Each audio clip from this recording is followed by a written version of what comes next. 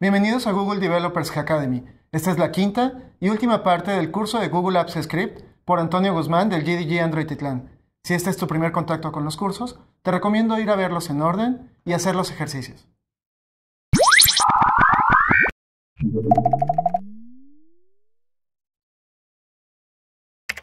Bienvenidos a la quinta y última lección del curso Introducción a Google Apps Script. Soy Antonio Guzmán. En esta lección vamos a revisar lo que hemos logrado en las sesiones previas.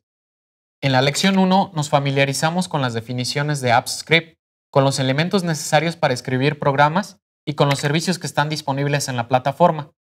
Entonces, recordemos que Google Apps Script es una manera de automatizar tareas de forma sencilla una manera de manipular información que tenemos en nuestras Google Apps.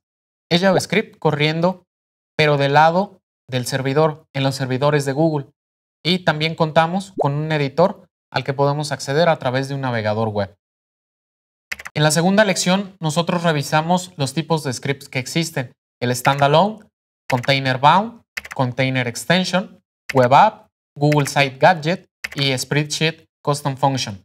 El ejercicio que realizamos lo centramos en un script de tipo standalone y trabajamos con la ejecución manual y ejecución por un trigger de tiempo. Durante la tercera lección, nosotros trabajamos con Container Bound Scripts y revisamos las opciones del menú Tools. Nosotros integramos nuestro script a un spreadsheet y automatizamos su ejecución ante cierto evento, ¿cuál?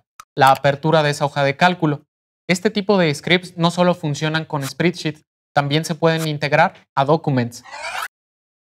En la lección 4, nosotros trabajamos con varios servicios de Google Apps. Trabajamos con Google Forms, trabajamos con Gmail, con Spreadsheet y con Documents. Además, integramos otro tipo de scripts que son los Container Extension, los cuales nos permitieron crear ese menú con el que desencadenábamos la tarea. Google Apps Script te permite personalizar y extender la funcionalidad de las Google Apps. Pero recuerda, lo que hemos visto en este curso solo son algunas posibilidades. Hay más escenarios que irás enfrentando en tu día a día, ya sea en entornos personales o empresariales. No olvides visitar el sitio de Google Developers. Ahí está la documentación, están los ejemplos y eso te va a permitir crear mejores scripts. Soy Antonio Guzmán.